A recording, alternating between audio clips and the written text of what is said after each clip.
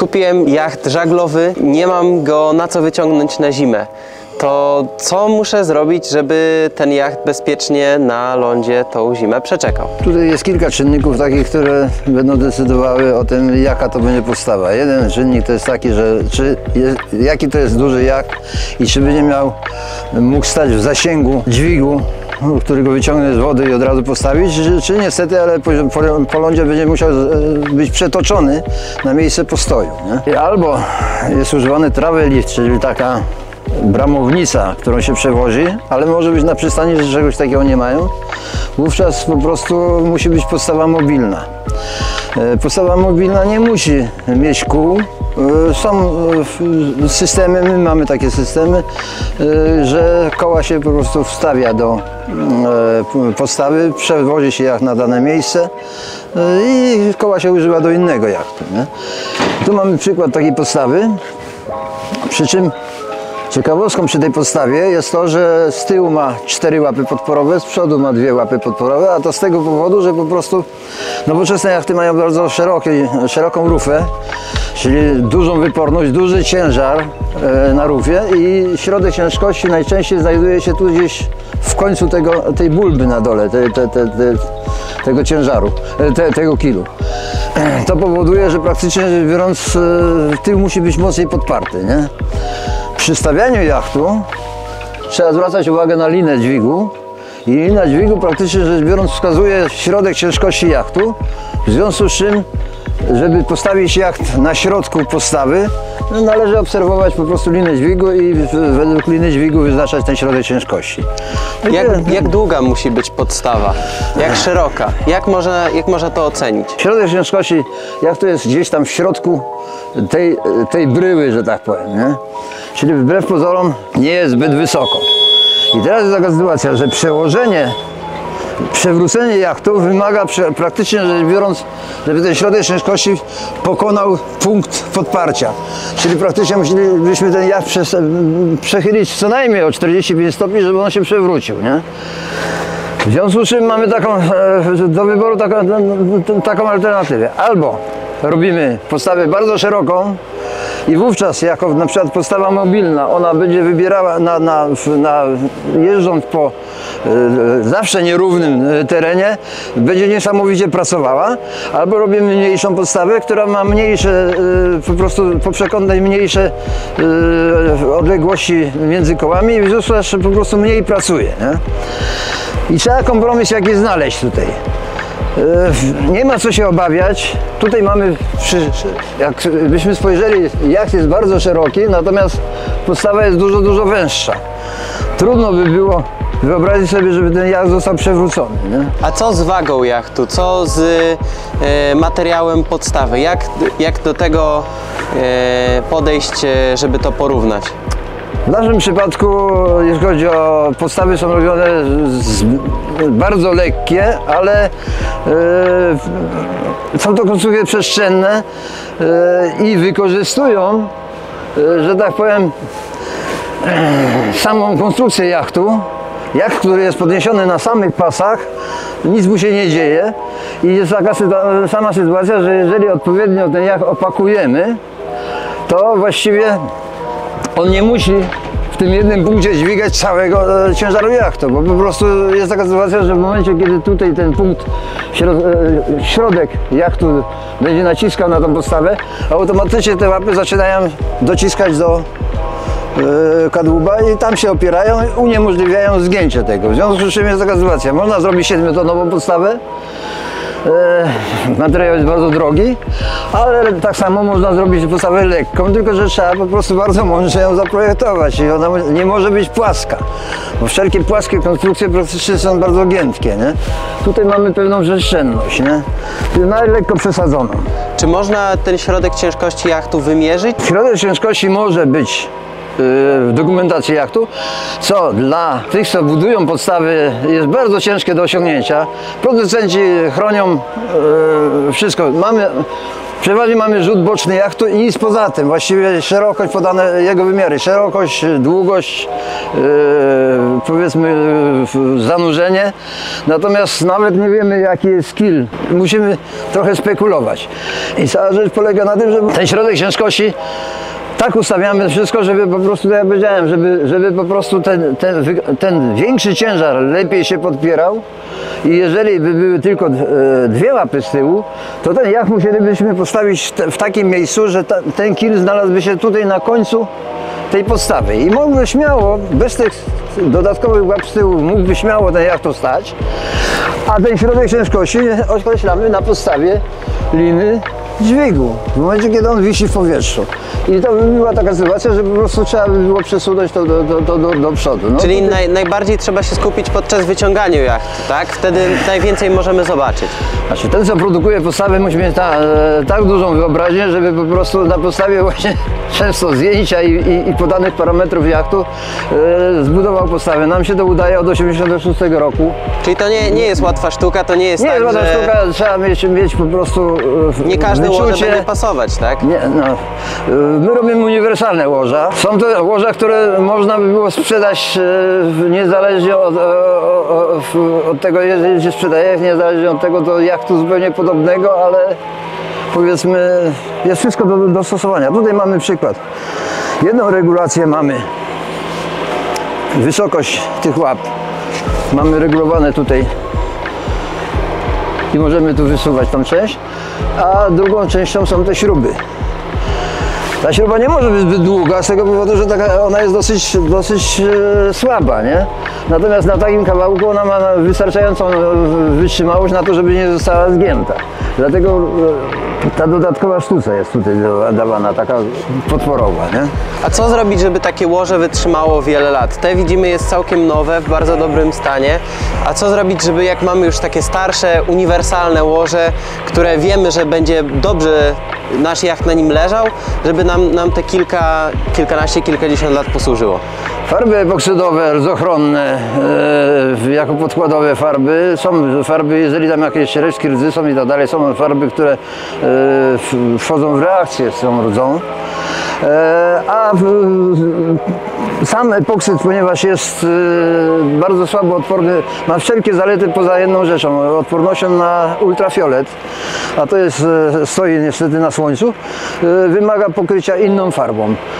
Bardzo dobrze trzyma się farba polietanowa po prostu i dlatego my stosujemy farbę polietanową. Ona dobrze się trzyma i ma dużą odporność właśnie na ultrafiolet, nie? I dosyć dużą szczelność. I to jest podstawa y, utrzymania stali. Tak, tak jak przy każdą rzecz stalową po prostu należy zastosować odpowiednie farby. Do każdej rzeczy stalowej no, odpowiednie farby zastosować i to wszystko. Nie? A takie pytanie może trochę, trochę inne. Widzimy, że ten jacht ma plandekę. Jak e, stosowanie plandeki wpływa na bezpieczeństwo jachtu? Czy powinniśmy na coś zwrócić uwagę, na jej montaż? Są specjaliści od tego i rzecz polega na tym, że w tej chwili najczęściej te blandeki są robione, tam mamy następny jak taki widoczny, e, są robione przy pomocy, e, po, pomiary są zbierane przy pomocy tam jakichś przyrządów.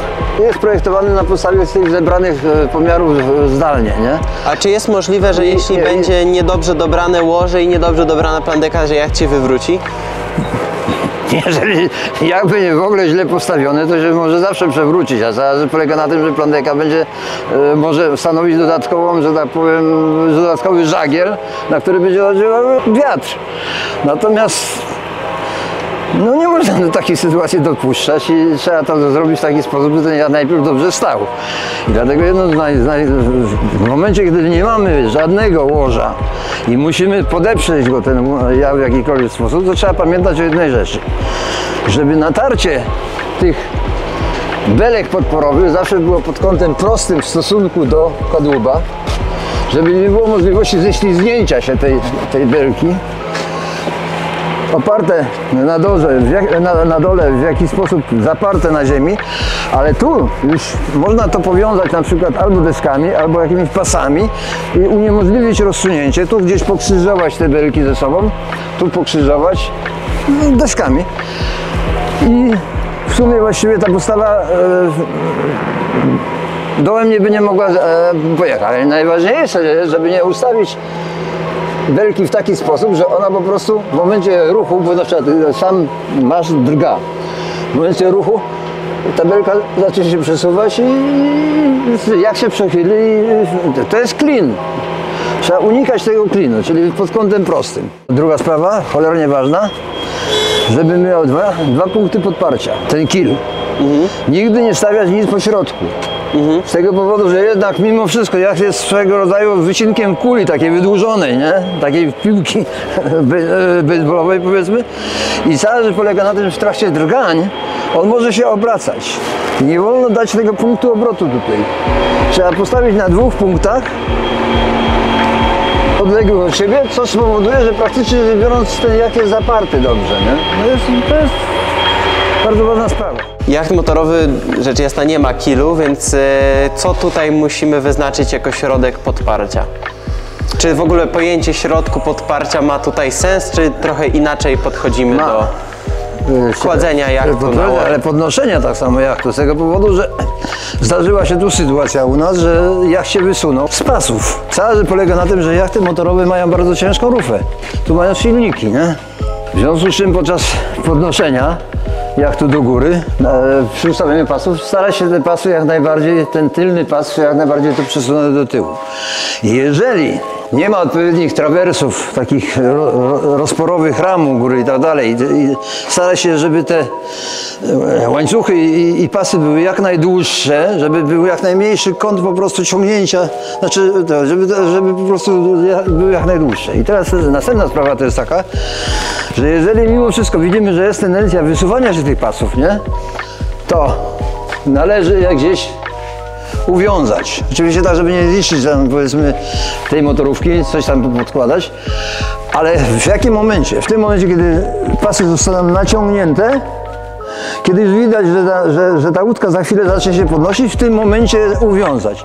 Co uniemożliwi praktycznie przesunięcie się nagłe pasa po tej śliskiej Tak, może być oglonionej, tak. Były, były takie sytuacje i tu się zdarzyła taka sytuacja, że że w tej wielkości motorówka po prostu niby e, prawidłowo, to nawet miała e, jeden trawers taki, ten poprzeczną tam, tam rozpórki, e, dwa łańcuchy w ten sposób. I niestety w pewnym momencie ta, ta, ten pas poszedł do, do, do przodu i teraz sobie wyobraźmy, jeżeli ten pas się przemieści już w to miejsce, to ten ogromny ciężar powoduje, że praktycznie rzecz biorąc zaczyna się ta motorówka przesuwać, Tak, ślizgać. może I to on potrafi się do prześlizgnąć, ten tylny poważnego pas wypadku. potrafi się prześlizgnąć nawet do tego miejsca i wtedy motorówka leci. Zdarzały się takie e, przypadki, mówię, u nas się tu też zdarzyło. Na szczęście Czyli trzeba przede wszystkim zwrócić uwagę przy kładzeniu na łożu Tak, no na i to, za- że ten środek ciężkości jest mocno Tak, i cała przesunięty do rzecz- tyłu. No i teraz zobaczmy, tutaj widzimy ile się zanurza łódka, nie? Mhm. I widzimy ile tu. Nie dosyć, że, że to jest dużo mniej tutaj widoczne, to jeszcze tam jest duża, e, duża część e, zanurzenia, a tu, znaczy tu, tutaj już ten, ten, ten trójkąt powoduje, że tego, e, tej wyporności jest dużo mniej. Świadczy o tym, że ten pas właściwie umieszczony, ten przedni pas umieszczony w tym miejscu, może się okazać, że będzie, znaczy inaczej, środek ciężkości jachtu że może wy, wypadać gdzieś w tym miejscu. Też powiedziałem, że po linii dźwigu można to zobaczyć, nie? Ale, ale tak powiedziałem, są sytuacje, w których kurczę, po prostu należy kurczę, jednak mimo wszystko te pasy uwiązać, ewentualnie zastosować e, kwadratowe takie ramy, które uniemożliwią zjechanie tych pasów, nie? No, to tyle, tyle na, na, na ten temat. Sama, sama stępka jachtu jest na tyle sztywna, że najczęściej te dwa punkty podparcia zupełnie wystarczają. Ten trzeci to jest taki proforma, jeszcze dodatkowo, nie? Tutaj my stosujemy takie ruchome trawersy, które my możemy Można przestawiać. sobie przestawiać, nie? Tam stawę.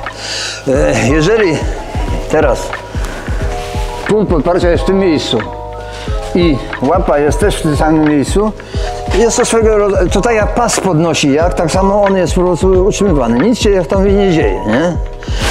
Natomiast ponieważ tutaj wkładamy koła i koła mimo wszystko jednak powodują tego typu pracę, tej całej belki, ta belka musi być na tyle sztywna, żeby po prostu te koła jej nie zgięły.